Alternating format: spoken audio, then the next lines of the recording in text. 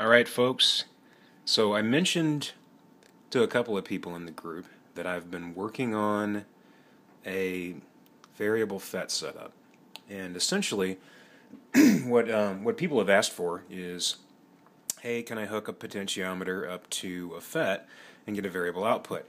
And the answer is technically yes. You could connect a FET, a pot to a FET, and you will get a variable output. But what will happen is your FET will then act as a resistor, series resistance, uh, in line with your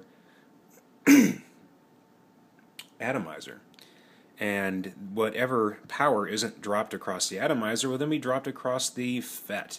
The FET will get hot, and that's bad. It's not what we want. So, someone suggested, uh, Derek uh, Only Clones Jones suggested using a uh, uh, pulse width modulation. And uh, I said, fuck yeah. And I came up with, I well, I didn't come up with this. I dug this up. This is someone else's work that I implemented. And anyway, so this is this is what it is. Uh, we have a chip that I use with diodes and a pot and a couple of caps to create a, uh, a pulse train. And uh, so now I have these pulses. It runs at about 2,000 hertz if, if I uh, did the math right. It's been a long time since I've used a, an old school oscope. Uh, this thing kind of sits under the desk mostly.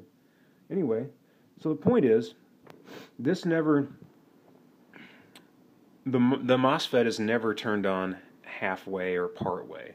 It's either off, this is zero, or it's on, and that's about 3.7, 3.8 volts. That's where my batteries are at right now, or my battery.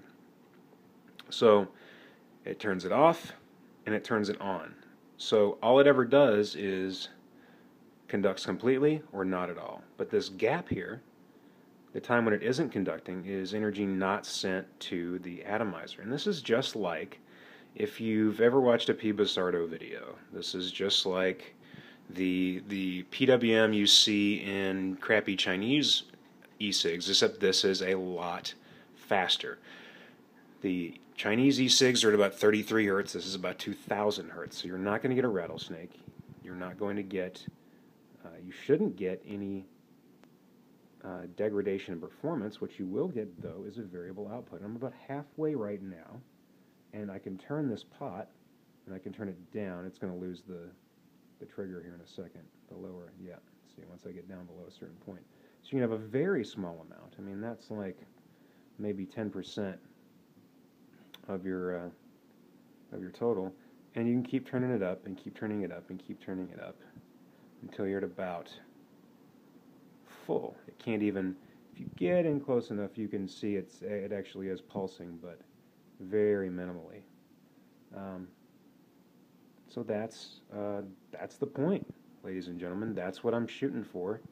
And uh, I have a small load on there. I haven't tested this with an atomizer yet. I'm not comfortable powering an atomizer with uh, with the board, with my breadboard, uh, quite yet.